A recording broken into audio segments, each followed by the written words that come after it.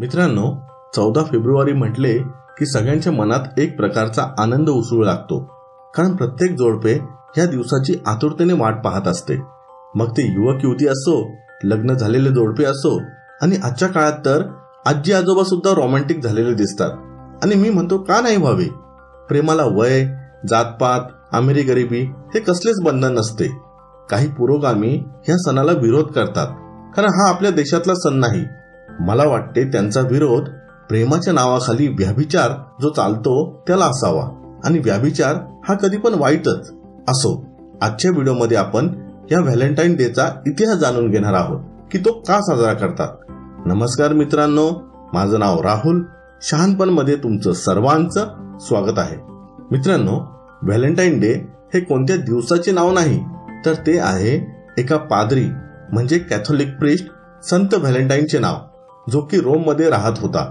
रोममध्ये सुमारे आठशे वर्षापूर्वी व्हॅलेंटाईन डे साजरा करण्यास सुरुवात झाली होती. त्या काळी रोमवर सम्राट क्लॉडियसचे राज्य होते. क्लॉडियसला खूप शक्तिशाली राज्य बनवायचे होते. त्यामुळे तो आपली सेना तयार करत होता. त्याचे असे म्हणणे होते की जे लोक विवाहित आहेत त्यांचे युद्धामध्ये लक्ष लागत नाही. लग्न केल्यामुळे त्यांची बुद्धी आणि शक्ती कमी होते.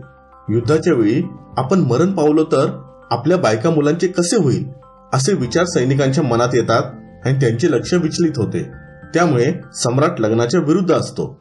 कोणत्याही सैनिकाने आणि अधिकाऱ्याने लग्न करू नये असा नियम काढतो आणि सर्वांनी तो पाळलाच पाहिजे नाहीतर शिक्षा केली जाईल अशी घोषणा करतो.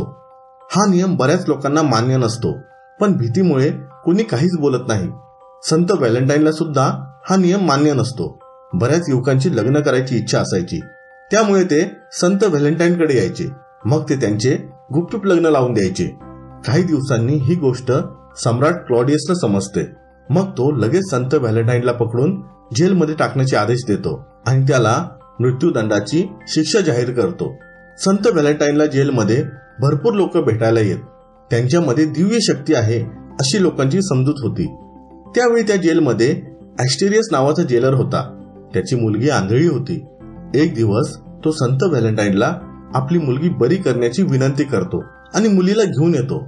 मग ती मुलगी रोज संत व्हॅलेंटाईन यांना भेटायला जेलमध्ये यायची आणि मग अशा प्रकारे त्यांच्या मैत्रीचे रूपांतर प्रेमात होते.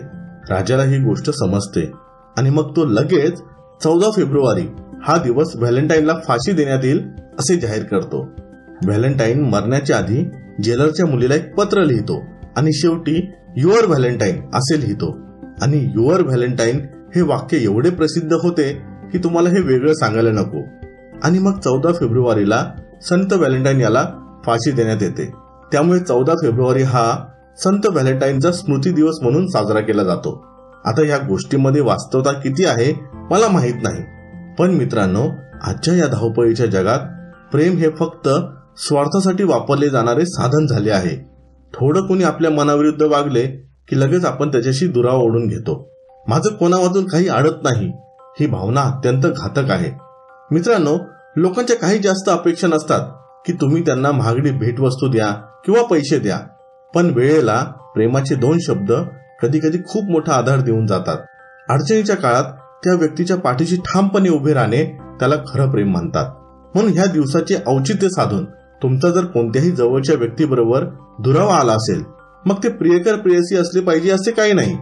मित्र असतील आई वडील असतील नातेवाईक असतील कोणीही असेल पण तुमच्या जवळचे असेल तर आजच त्याला फोन करा किंवा जमत असल्यास वैयक्तिक जाऊन भेटा.